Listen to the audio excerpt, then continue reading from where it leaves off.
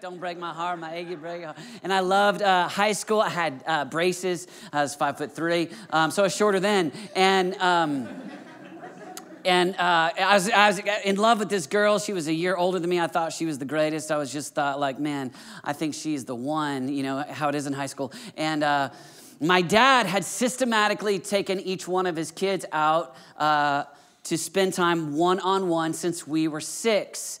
And so my dad decided that if Jesus could make disciples, uh, he could make disciples, not just in the local church, but make disciples of his family. And so um, everybody had a day to spend time alone with dad. So Monday was Debbie Day. My, my mom had a date with my dad. Tuesday was David Day. Wednesday, Dana Day. Thursday, Deborah Day. Friday, Daniel Day. And each one of us, from the time that we were six, had time alone with my dad. To which you would say, that sounds like a big commitment. It was. Um, and my dad made that investment in me. And so uh, it wasn't really until I got into junior high that I knew that I needed it. So in elementary school, it just felt like we were hanging out. I never had problems. Elementary school, life was good. But in junior high, I had, the, I had all kinds of crisis. And in high school, I had crisis. And my dad had made so many spiritual and emotional and biblical deposits in me, one chunk at a time, uh, starting on Tuesdays all the way through elementary school, that then it was, he was able to make emotional withdrawals in my junior high years and high school years. And I say that to say because he told me to make decisions um, in regard to friendships and dating. Uh, and I was willing to do whatever he said because we were close. And I knew uh, that he knew Jesus, and I wanted to know Jesus like he knew Jesus. And so um, when I was 16, we were sitting at a Bennigan's uh, in northwest Oklahoma City. And um, usually my, our time was about an hour. When I was younger, it was about 30 minutes. Um, and uh, and I began to just just tell him about this new uh, rejection I was experiencing, uh, where I had a crush on a girl and she didn't like me back, and um, that was common for me in that season of life. And um, and so I was telling my dad. And uh, but I was a mess. I mean, you think I'm crying right now? Whew, you should have seen me then. And um, so I'm just like unloading these tears to my dad, um, 16 years old, sitting in a booth, and, um, and I'm telling about this girl that doesn't like me, and I'm all emotional. And, and my dad says, David, I'll, I'll be back in just a second. And he got up and um, walked to a payphone. If you're under 30, you're like, what is that? Don't worry about it. And he uh, walked to this payphone and came back and he said, All right, we've got all night. Um, you just you can keep crying, son. You can keep telling me your story. And I said, What are you talking about? And uh, you have your board meeting tonight. And he goes, No, no, no, no. I, I canceled the board meeting. I said, Dad, you can't cancel your board meeting. Uh, that's your that's your church. And I'll just never forget. My dad's the opposite of me. He's tall, dark, and handsome, and he's he's real he's real soft spoken. I don't know. How, I mean, how I ended up his kid, but uh, he just looked at me and he's real quiet, just real whisper. I said, "Dad, that's your church." I'm crying, and he goes, "David, first and foremost, you're my church," and uh, man, it, it, he lived it. And he shaped me. And, and really, where I want to go in these special minutes I have with you is I want to challenge you, Pastor, uh, to make your family your first church. And so you may have a church of 50 or you may have a church of 5,000. But I want to invite you to think about what it looks like in terms of beginning with the end in mind and then backpedaling and saying, how do I, how do I create my time, my structure, my life around the conviction that my family is really my first church? Um, it's what shaped, significantly shaped me. And when I look at Jesus, uh, and you look at today, the Church of Jesus Christ, 2,000 years after Jesus was here. And there are obviously um, churches all over the world, and we see that it's big in size. Um, we see that the Church of Jesus is global. There's actually today um, believers and the Church of Jesus in every nation on earth. There's still people groups but we're living in a generation where it's unprecedented um, that there's actually believers in nation in every nation and we've got a ton of work to do with global evangelism but it's massive. Uh, the, the Church of Jesus for 2,000 years has been growing, and it's and, and, I, and I look back at how Jesus invested his time, and he invested his time in a few. He invested his time in 12 and in three, and then specifically in one. And we've got a little window of time. Each of you are different in terms of where you're at, in terms of the actual age of your children.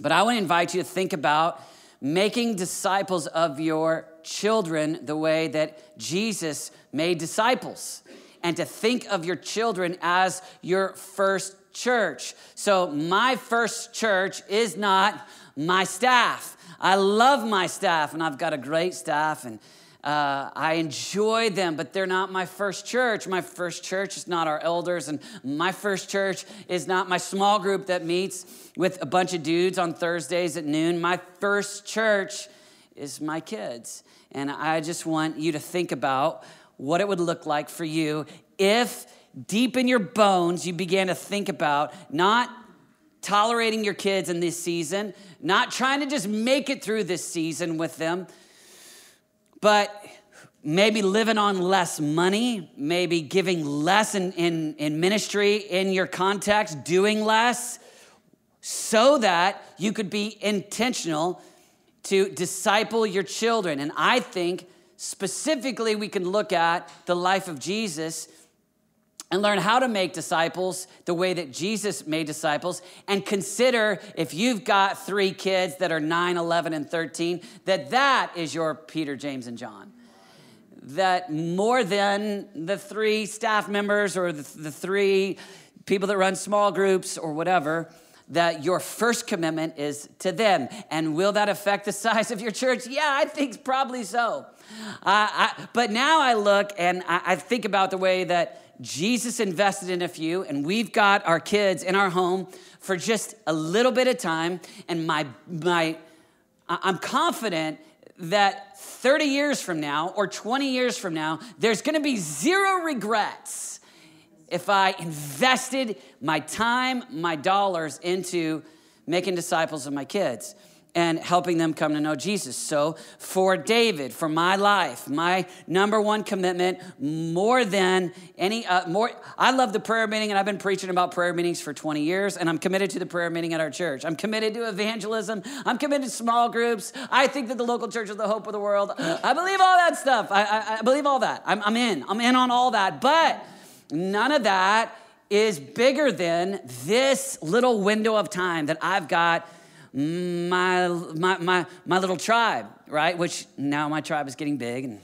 Dawson's 14, and he's taller than I am, and this is his jacket because he's cooler than I am, and and he looks just like Renata, which is anyway. So, uh, which is good for him, and but those, but but that's that's my first calling. That's that's that's who God's called me to to disciple right now. And so Dawson right now he's 14 and wants to be a, a pastor, which is awesome. And Olivia she's 13 and and she's got a heart to serve. It's amazing.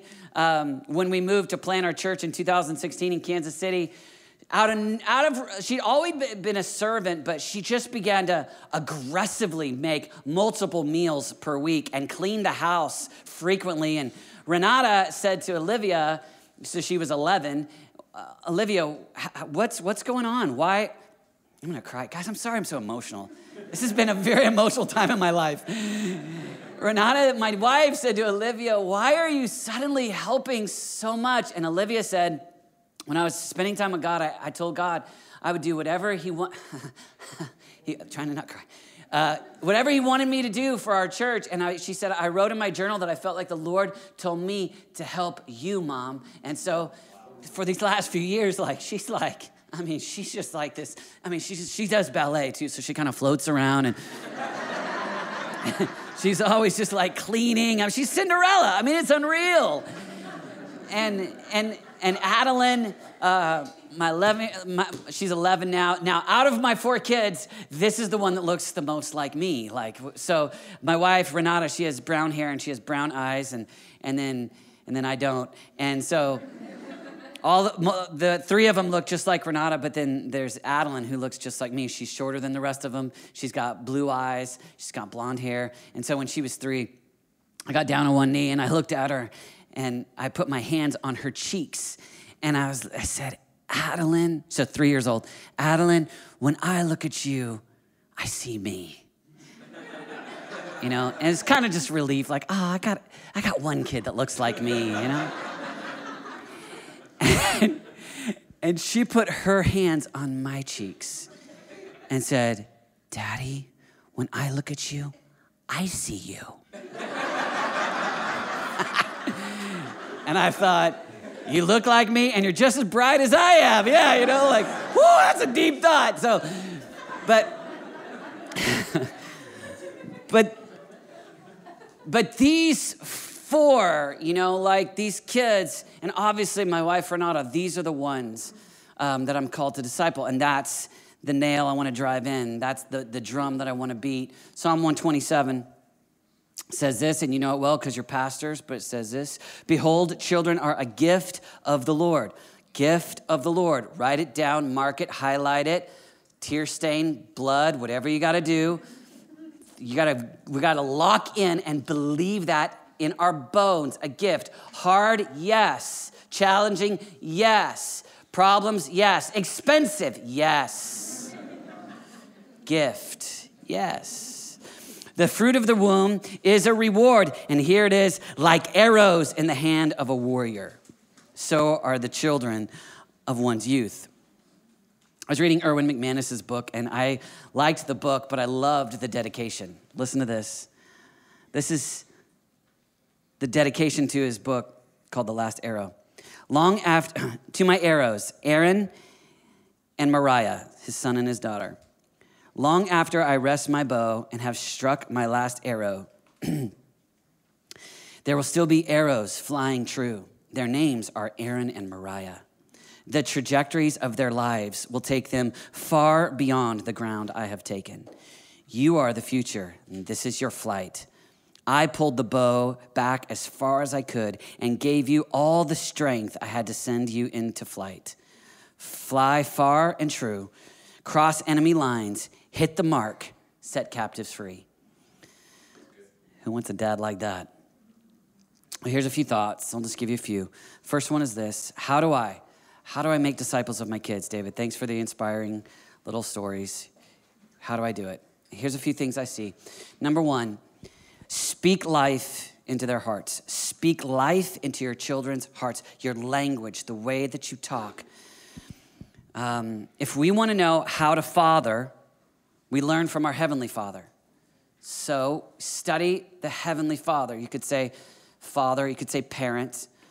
But let's just look at the way that the Heavenly Father speaks to his Son. How does the first person of the Trinity speak to the second? How does God the Father audibly speak to his Son? You know the text. Let's just break it down and look at a few ideas in it. Matthew chapter 3, verse 16. As soon as Jesus was baptized, he went up out of the water. At that moment, heaven was open, and he saw the Spirit of God descending like a dove and, alighting on him. He, and a voice from heaven said, This is my son, whom I love, with whom I am well pleased.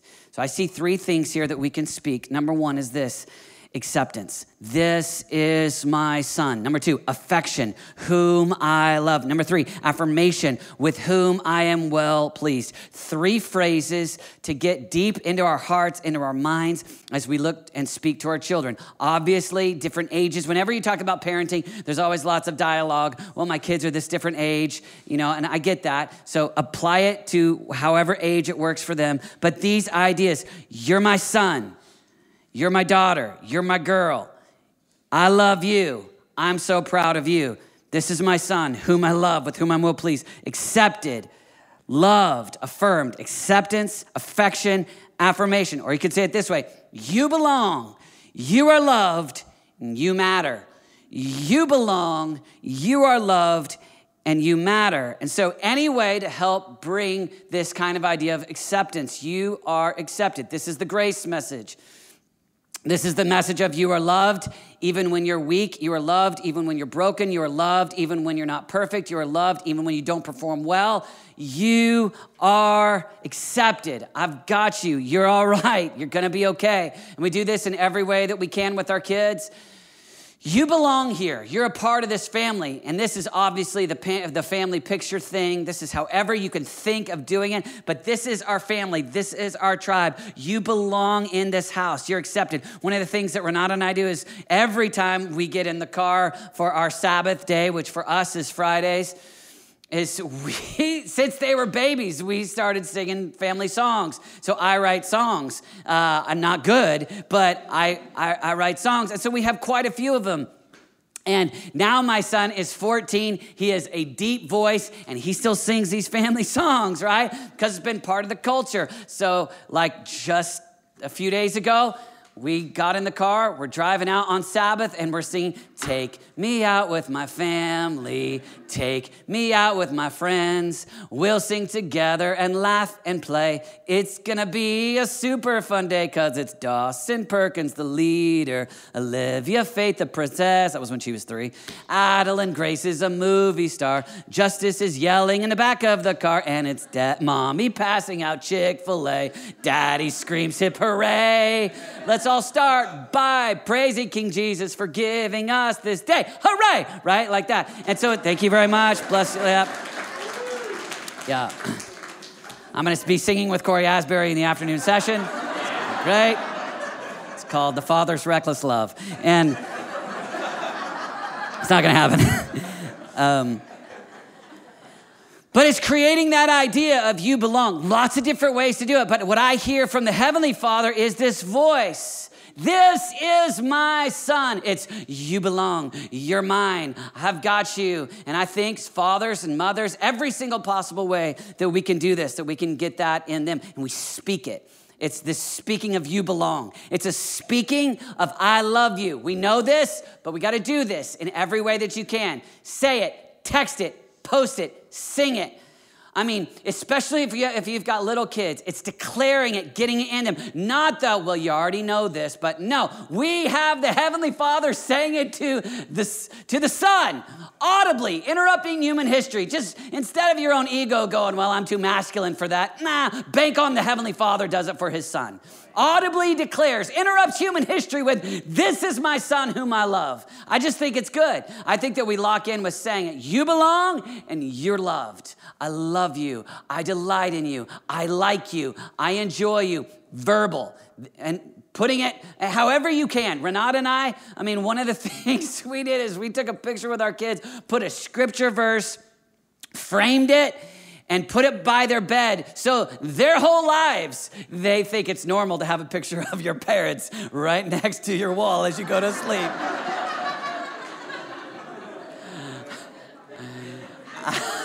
you go, that sounds like some narcissistic people. No, man, I'm just trying to get it in their heads. Hey, you're loved. And the last thing you see at night is your parents waving over you. You are loved.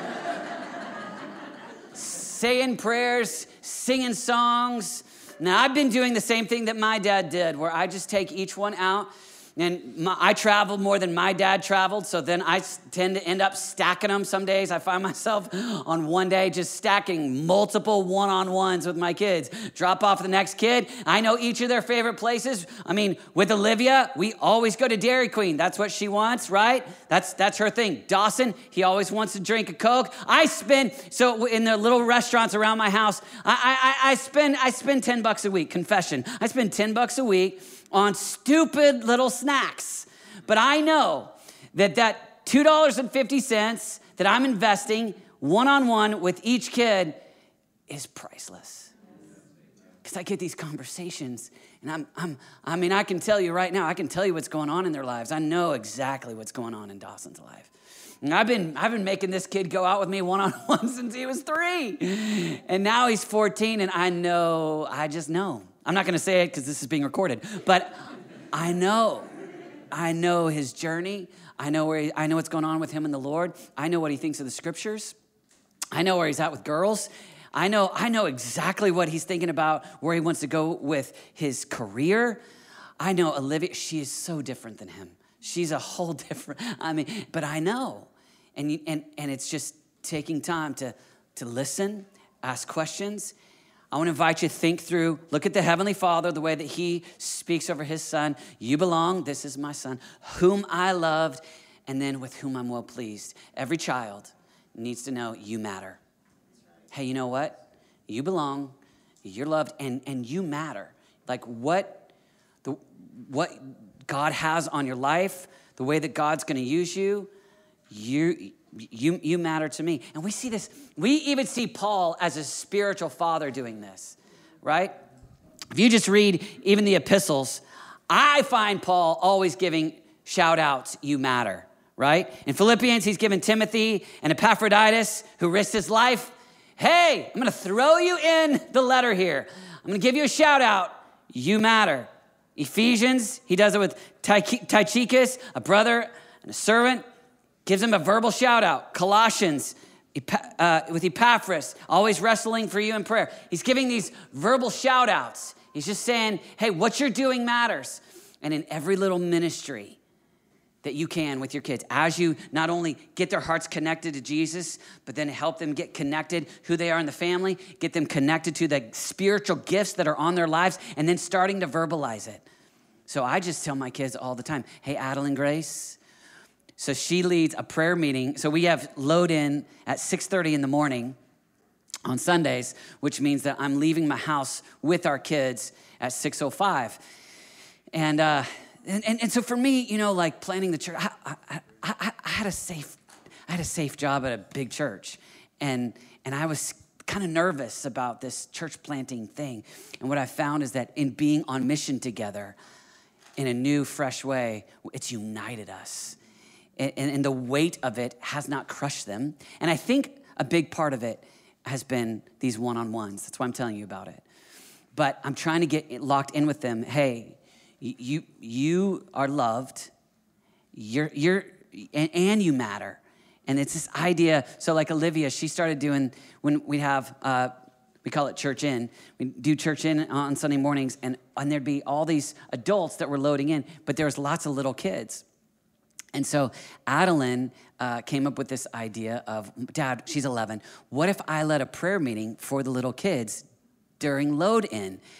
And so now for me to verbalize to her, hey, not only are you are you loved and do you belong, but what you're doing with those kids, it matters. Hey, Olivia, the ministry that you have to your mom by helping her, it matters. Hey, Dawson, the way that you're helping with production in our little church plant, it matters, right? And communicating, all right, you are loved, you belong, you matter. We see that in Jesus. And being that mother or being that father that sees them, that loves them.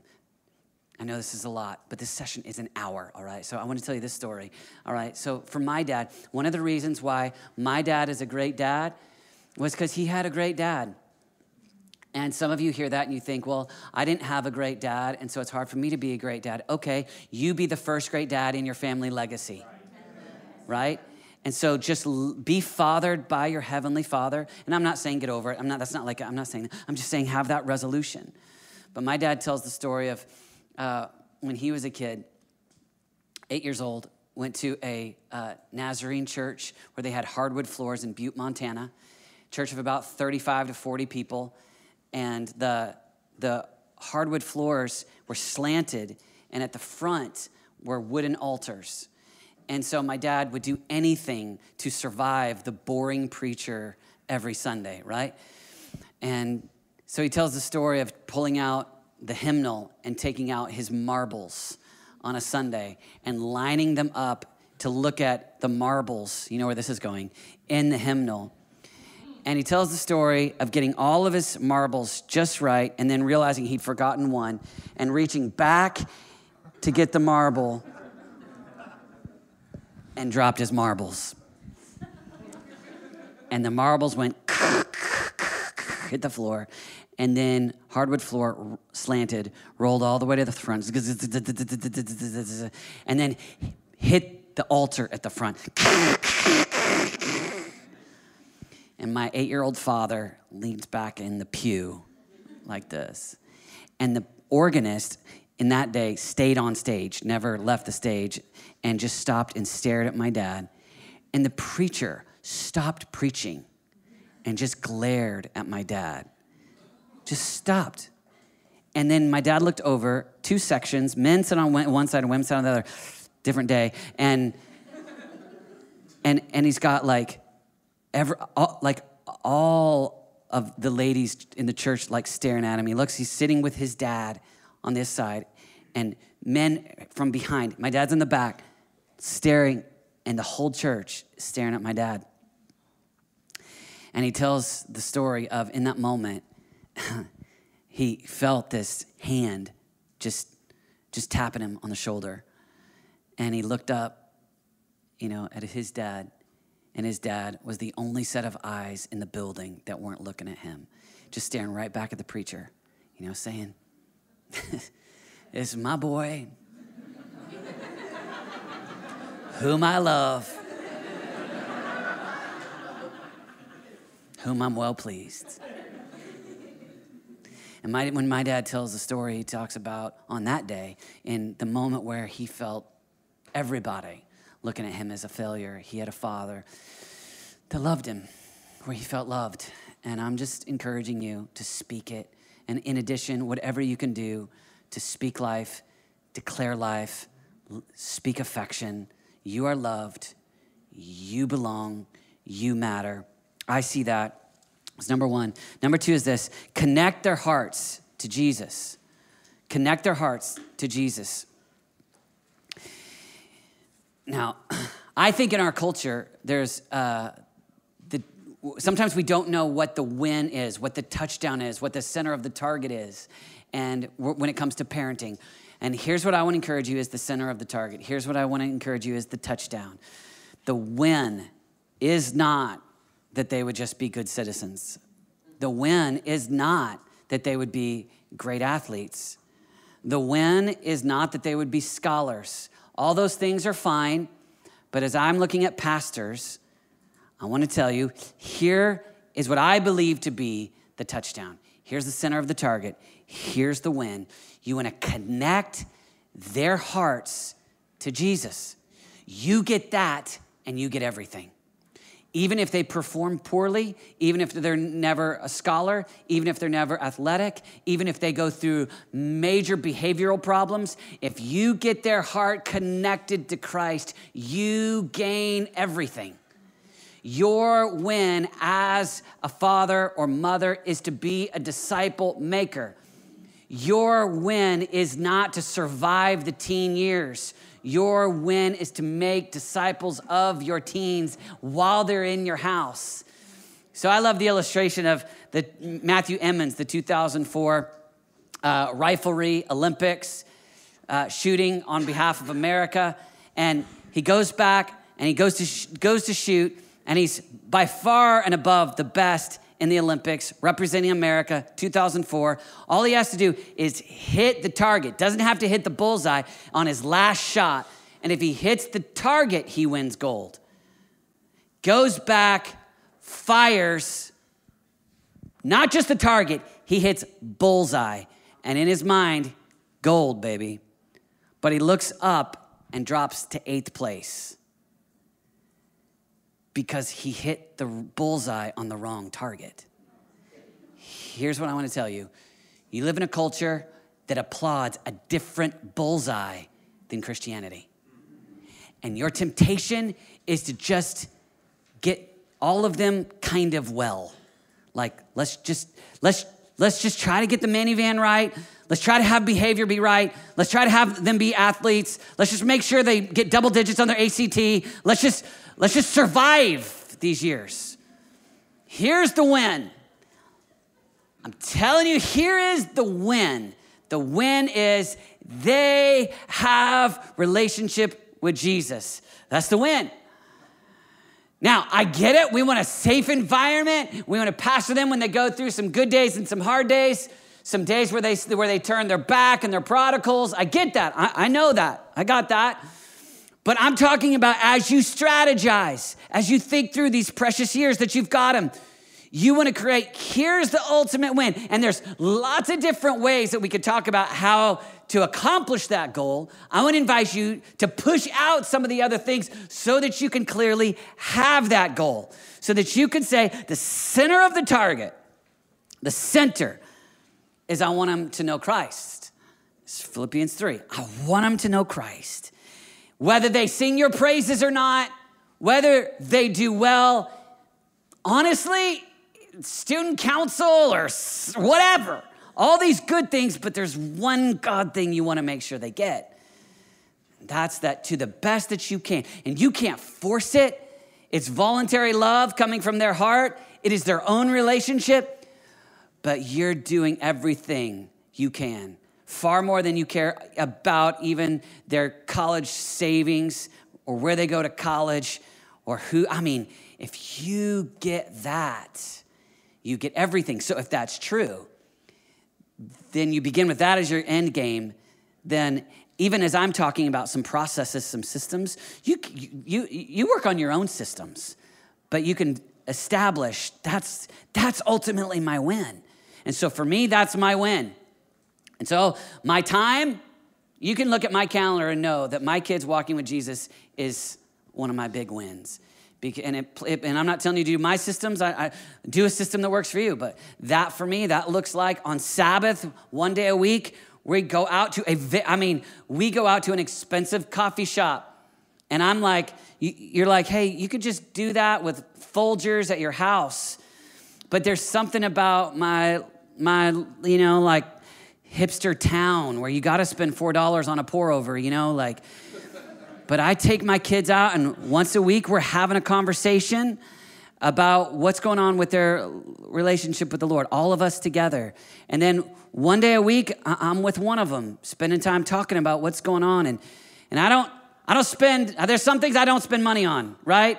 I mean, we, we came to the airport yesterday in a suburban that has 207,000 miles on it, 2001. I'm gonna drive that thing until the day I die right? I don't, I don't care about cars, but my daughter Olivia, she's, she's got a $60 journal. you know why? Because she wanted it. And that's the journal where she's spending time with God. And I didn't bat an eye. A $60 journal, I never heard of a $60 journal before.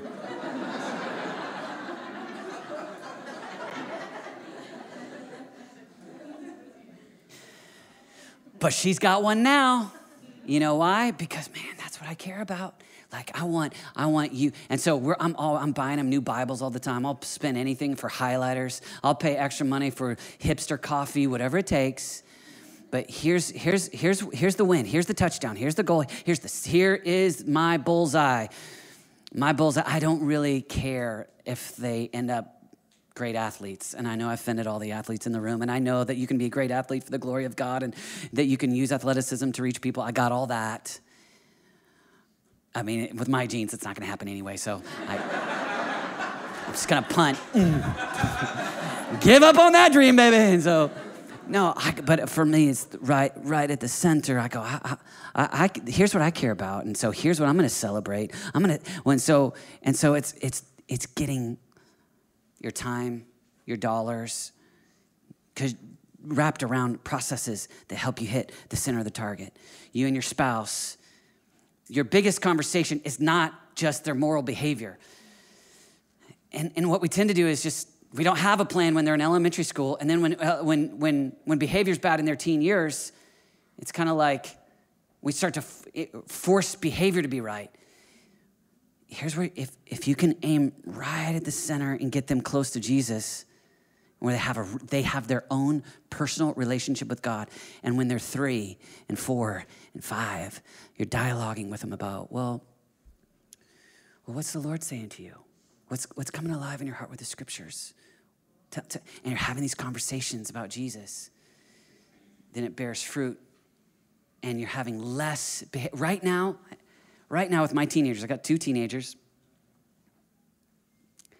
and I'm not, I, I recognize that by virtue of me being vulnerable and sharing my story, it could be offensive or you could think that I'm proud. I'm opening up with the hope of trying to help. Right now, I'm not having any behavioral like fights right now. We're just, because we're relationally close. and they're relationally close to the Lord. And all we have is little whisper conversations. Like, we, we've had some moments where we've disagreed or where things, they didn't do the exact right thing. But it's, it's not even me saying, it's, right now, it's not even me saying, and you're like, well, just wait, it's coming. You're not in high school yet, boy. What do you think? La, la, la. I know. And I'm risking a lot by saying this, but I believe right now, when I look at where I'm at, I believe that this is critical. And this is so big in my heart right now. This is the only thing I want to talk about anyway. And so, uh, but right now, there's, we're able to have we're able to have behavioral change not by me putting up restrictions but by me having conversations about what's the lord saying to you. And, and then they come back and they say well what do you think dad? Oh well you really want to know? And honestly i'm having the time of my life as the parent of, a teen, of teenagers right now. And and I think that it, it, the root is relationship, their relationship with God. And so when, when they're little, buying journals, and for me, teaching them a way, I'm not saying it's the way, but a way to spend time with God has been one of my highest priorities. One of my highest priorities was not teaching, I mean, I just, it's, it's not mostly shooting a three pointer, and it's just not mostly about scholastic things. It's, I'm, I'm all for that. My son Justice plays basketball. I was at the basketball game on Saturday. But, and he's, he's, he, has scored, he has scored two Saturdays in a row, and I'm crazy proud of him. But I make sure that my biggest celebration is not athletics. And my biggest celebration is not even the, the scores on tests in academics, but I go crazy celebrating every, not, and not even behavior, not like, um, not like moral behavior, but I, I work on recognizing revelation, hearing the Holy Spirit, what Jesus is saying to you, your relationship that's real. And, and I'm accidentally seeing them turn into little preachers because they've been verbalizing God's activity for years. Does that make sense? And so I want to invite you just to kind of define what's the center of the target? Okay, husband, okay, wife, or as we do this and we've got, man, we've got this church to pastor and but we, we don't get these years back. And when they walk across the stage at post high school, by then everything's different. They're on their own. These are the years of formation. I am saying to voluntarily have some less influence and less money in order to invest in your young disciples and to teach them how to spend time with God. Teach them to have their, how to have their own relationship. Let them see it. Make the number. I think, I think the number one thing you can do as a family is, is talk about what Jesus is doing and spend time with God. On our Sabbath, what we do is I take Renata out in the morning for our date, and then we come back and we take all our, all our kids to a coffee shop. And they may think it's a little bit boring, but we actually spend a couple hours at a coffee shop. Everybody's just spending time with God. And then we go play at night. So it's for us, Sabbath is pray and play. But I'm, I'm wanting to work that muscle that by the time they leave my house, you know, far more than anything else, the muscle they've worked, the thing, the thing that's, that's, that's deep in them is relationship with God. So I would encourage you to work on connecting their hearts. To, if you get anything from this little session, I hope that you get that. Um, and the last one is this I would say, fight for their hearts. You're in this season where you get, you, they're gonna have everything fighting for their affection. And so stepping in as parents and fighting for their hearts. We were doing a, on our last uh, family bike ride on a Sabbath, um, which was fun. My, I didn't ever use the word Sabbath growing up, but since our, I read a book in 2008 um, called The Rest of God. Um, by Mark Buchanan, and it was all about Sabbath. And so Renata and I just started calling it Sabbath. And my kids use the word Sabbath all the time. And they're like, it's, it's just fun. They say, "Hey, Dad, can we, I know I know that Friday's Sabbath, but on on Saturday, can we take a half sab?" And I'm like, what's a half sab? And they're like, you know, half a Sabbath. Like, just, you know? And so, anyway, it's just, it's just funny. It's just funny language, but. Um, but we were, we were on a bike ride um, on a Sabbath night, and my, my Addie, Blunt, she's a singer. And um, she's, she says, Dad, I've got an idea for a new series at Radiant, our church. I'm like, Yeah? And she goes, Take me to church. And I was like, Yeah, that sounds like a good name for a series. And she was like, Oh, yeah, Dad, it's everywhere.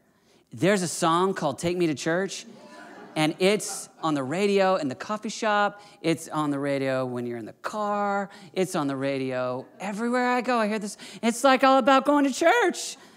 And you should do it. So I'm like, oh, okay, great. There's a, she's like, yeah. Yeah, some of you know. I Google it. It ain't about church. Take me to church. I, it just go Google it. It's whoo, wow. Here's the reason.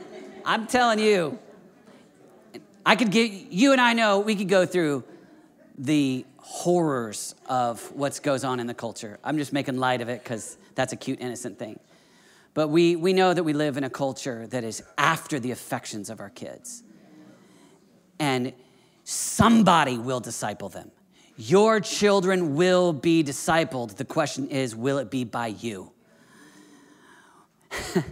Someone's gonna say, hey, get into ballet. Hey, get into athletics. Hey, get into, you name the thing, whether it's a good thing or a bad thing. I'm not talking about if it's good things or bad things. I'm just talking about if it's the thing, Jesus. Because all I care about is that it's, I want them to be disciples of Christ. And I'm okay, but, but I'm telling you, every single marketing firm in America, every industry is after the affections of my child. They're after my child caring about their product, caring about whatever it is they're selling, whatever. And so I, I'm a madman fighting for the affections of my kids, fighting for their hearts. And, I, and, and so I'm just going to read this, and I know you know this. I'm just going to remind you with Deuteronomy 6, but just read, let's just read this because I want you to hear it in the message. Deuteronomy 6 Hear, O Israel, the Lord our God, the Lord is one. Love the Lord your God with all your heart and with all your soul and with all your strength. These commandments that I give you today are to be on your hearts. Impress them on your children. Talk about them when you sit at home and when you walk along the road, when you lie down and when you get up. Listen to it in the message. Attention, Israel, God our God, God the one and only. Love God, your God, with, with your heart. Love him with all that's in you. Love him with all you've got. Write these commandments that I've given you today on your hearts. Get them inside of you and get them inside your children. That's what I'm talking about today. Get them, this whole thing is get them inside of your children. Talk about them wherever you are sitting at home or walking in the street. Talk about them from the time you get up in the morning to when you go to bed at night. It's just this it's Jesus all the time. Yeah, that's kind of fanatical. Yeah, it's fanatical. We're fanaticals. I'm just sorry. I used to say that when I was 20, and people would be like, now I'm 42, and I'm just like, I'm a fanatic. So are you. Let's just, we are. I mean, that's what Christianity is. Like getting this into our kids is takes, I mean, it takes work in the morning, in the afternoon, in the evening. Write the songs, get it in your kids. And I would encourage you with this you will parent them. You'll, you'll pick a strategy. Everybody has a strategy. You may not have defined it yet, but you'll have a strategy. Some of you will be real authoritarian. One of my best friends, dad's a pastor. We grew up in the same city. My dad was relational, his dad authoritarian. His dad told him, This is the way it's gonna be. My dad said, Let's talk. His dad yelled. My dad whispered. His dad said, You're my son. You're going to wear this and you're not going to act that way because you have a job to do as the pastor's son. Community church. My dad pastored a little Nazarene church, and we took very different paths. I'm just saying. I came out of, I went into high school, by the end of high school, I was wanting Jesus and I was talking to my best friend, my dad, who cried when he talked about Jesus, and he wouldn't even tell me what to do. He would just look at me and say, Well, what do you think Jesus wants you to do? That was the end. I mean, I, I don't know how vulnerable to be about all this. I mean, I had a moment where I was like, Dad, what do you think of this girl, my senior high school? And he was like, What do you think Jesus thinks? I was like, Ah. I've never actually had one like me before, Dad. It's like, What do you think Jesus thinks? I mean, I, I'm, I broke up. You know why? Because I had a dad that just, he just, just, he's just gonna connect me to Christ. It's just, he whispers. He never screams. He's embarrassed by how boisterous I am because he's just, when he teaches, it's seven points. There's intellectual clarity. I don't even know what that is. he just whispers, gives lectures. Some will be authoritarian, and, and I want to invite you be less authoritarian and be more relational. Some of you are just passive, like, I don't know, I'm just going to dump it on God and pray we survive. You know, like, I don't really have a plan. I'm just going to hope it all works out. I'd invite you to think through it more than that. I'd invite you to think about this more than you think about your retirement plan, more than you care about the equity in your home. Get the equity in your heart, in the hearts of your kids to be loved for God. I mean, care about it, work on it. Some of them have a some of some of you will be passive, some will be authoritarian. I want to invite you to this. I see our God as relational. And I think parents do their best when they're relational. I'll tell you this uh, two minute story and I'll close. I started with telling you that my biggest challenge was um, in planting was my kids. And I uh, have seen God work supernaturally to take care of my kids. And I will tell you this I believe that God cares about your kids more than you do. And if you'll say yes in obedience to God, be strategic, I believe God will do miraculous things for you and for your children. And my love, hmm, people tend to become what the person who's most important to them thinks of them, right? And I have found, I, I have found that people tend to really love people that love what they love. And so you tend to really, when you really love your kids, you tend to really love the people that really love your kids.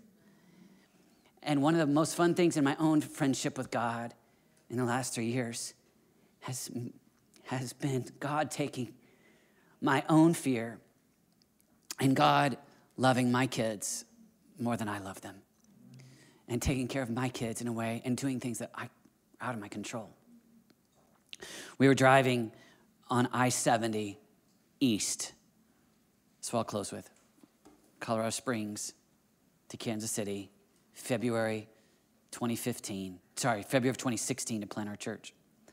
We were starting at September, so we had five months in town. And Renata, I was driving a U-Haul, and Renata was driving our Suburban, and she said, Hey, Dawson's not doing well. Um, I don't know what to do. He's really upset. And I said, I'll talk to him. Not, hey, let's control it. Not passive, he'll be fine. But it takes work, takes time. We pulled over. I sent the other two kids who were with me back to the Suburban. Said one, Dawson alone with me in the U-Haul truck. 11 years old. There is nothing good between Colorado Springs and Kansas City when you're driving across Kansas. Sorry if I just offended somebody. Um, so we had all this dead space to talk. And I, his behavior was causing tension between he and his mom. And so I just said, Tell me what's going on. Mm, first 20 minutes really didn't get anywhere. Me what's going on. About 30 minutes in, we just start to get, you kind of pull on the heartstrings. It's like a thread when you're trying to get into what's going on in their hearts you know, because they don't even fully know. They're just trying to process it. So I just kind of pull on the heartstrings. What's going on? And, and he starts talking about money. He starts talking about this job. And he said, Well, Dad, I don't fully understand. Like, you're not going to have a paycheck? And I was like, That's true. and he was like, Why would you do that? And it's hitting on all my fears. Because now, this is just the drive to Kansas City. This is the one thing I was scared about. and I said, You know, Doss, I really believe that God's going to provide. I really believe that uh, God's going to take care of us. And he said, You know, June 27th, I turned 12. It's my birthday. I was like, Yeah. He goes, You don't have a paycheck. And I was like, That's true. and he said, Do you think you'll have enough money to buy me a birthday present? And hear it? You can, you can, you can sense the fear. You can pull on it. So either, so this becomes a great moment in parenting. And I said, Well, has God always taken care of us? Yes. Are we dependent on a paycheck or are we dependent on God? God. You think God will continue to take care of us or you think He's going to give up on us? I think He'll take care of us. All right. Doss, I'll just bet, I'll just bet you're going to have a great 12th birthday. And he's like, Yeah, okay. We got to Kansas City. I got sick. We were living in an apartment. And I had an invitation to come speak in Texas. And it was uh, over his birthday. His birthday was on a Monday. And his favorite thing to do is to travel with me. And I said, Doss, your birthday present, you get to go with me to Houston. And he said, he was excited. And I made a little joke like, God taking care of you? Yeah, God's taking care of you. The church paid for his flight. So it was like this cool thing, you know. And I was preaching on Sunday, and we are to fly home Monday night. Monday was his actual 12th birthday. And I said uh, to the pastor, I said, hey, you know, is there anything cool in Houston I could do? Uh, just any ideas? I want to play with my son tomorrow's his birthday. And the, the pastor said, I have an idea. Let me take care of it. I said, oh, wow, okay. You know, like, great. The next day, a man in his church picked us up from the hotel. And this man owns his own business. And he flew us with his, with his pilot in his personal helicopter to a ranch in East Texas. And then, so this man who owns this big company t- took care of us. And we shot guns. It was my first time. And I was just hoping for like lattes and some theology books, but we shot guns we fished in his private lake, and then we got on a helicopter to go back to Houston to catch our flight home on his birthday. And I'm in the little headset looking at my boy, and I looked at him and I said, Hey, Doss, is God taking care of you on your birthday? He gets all teary, big brown eyes like his mom, you know. And he's like, Yeah, God's taking care of me. And my, I'm going. And then we got back. He wanted to, when we started a youth group, he wanted to preach. His first sermon, I was helping him with his sermon. And I said, What are you going to preach on? He said, I'm going to preach about how good God is. God wants to give good gifts. And he did his first sermon about how God wants to give good gifts to his children. I've got a prosperity preacher in my house right now. yeah.